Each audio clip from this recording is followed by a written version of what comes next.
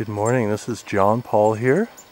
I'm in South Lake Tahoe, California, and I am out scouting for a couple workshops that I have in the next week or week and a half. Uh, looking at the aspen trees leafing out and heard an interesting huffing sound and lo and behold, it was a big mother bear up in a tree that I hadn't seen and her little cub. So I thought I'd do a quick video and share that with you little cub is this this spring's cub. So he's really young just a, a, few months old. And the mother is actually quite large but given that she's up in a tree she must have been spooked by something.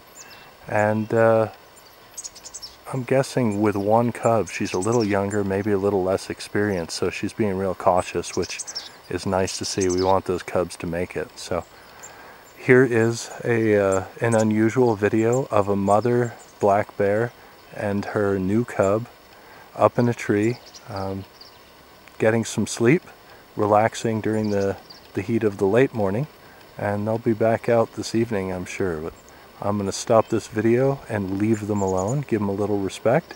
I hope you've enjoyed this.